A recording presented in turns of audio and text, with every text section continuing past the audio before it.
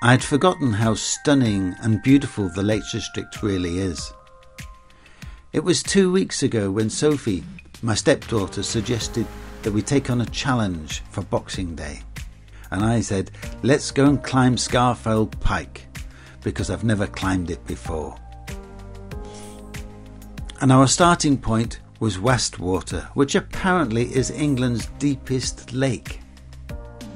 And as we started out, the weather was cold but calm, and the path was clearly marked in front of us.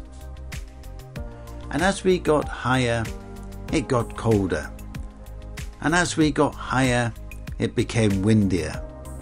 Until eventually we made it to the top. And here we are on the top, holding on for dear life around the trig point, trying to take a selfie. and here is Sophie and at this moment in time, she's not only the highest woman in England, but she's the highest person in England. So, what does Sophie do? She forms a crab. She goes into the crab position. So, I suspect that she's probably the first person to ever perform the crab on top of England's highest mountain. Visibility was closing in, we couldn't stay long at the top, so we headed down. Unfortunately, we missed our intended track and we took a track that was far more challenging.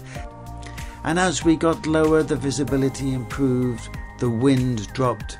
We had a little respite where Sophie decided to do a little bit of yoga, a little dance, and I'm not quite sure how to describe this.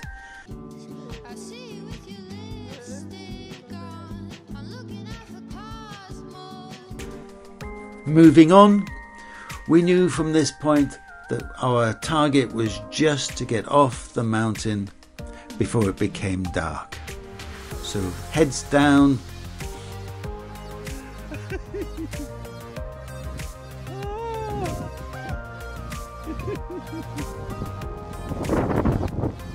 oh, she's such care and concern. I'll look after you.